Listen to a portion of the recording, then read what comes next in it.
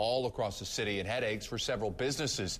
16 WAPT's Joseph Pleasant joins us now live in Fondren, where a number of places are shut down because of the water line breaks. Joseph. Brad, right behind me is one of those waterline breaks here on Old Canton Road. Now, this is one of at least 70 the mayor says have happened since the Arctic blast moved into the area late last week. And those water line breaks have caused outages to a number of businesses and homes. In other cases, has caused a drop in water pressure.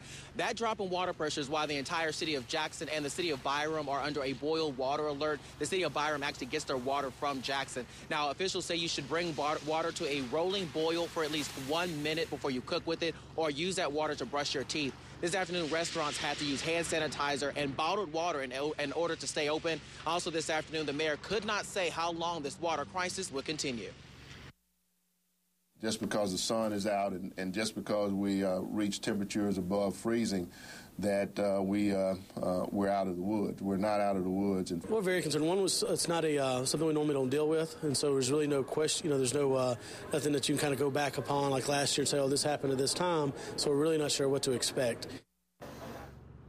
The auditorium restaurant actually closed early this afternoon because they did not have water service. The owner, Nathan, Nathan, uh, Nathan Glenn, says that they will decide when to reopen based on when the water service returns. Another restaurant here in Fondren told us that they would start using plasticware in order to keep serving their customers. Meanwhile, the mayor says the public can help with the problem by conserving water. He says if you don't have to, avoid doing your laundry, running your dishwasher, and washing your car.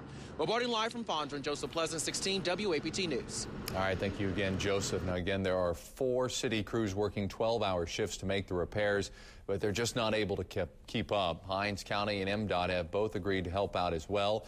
The mayor also said the city may turn to private businesses to help repair those water line breaks all around the capital city.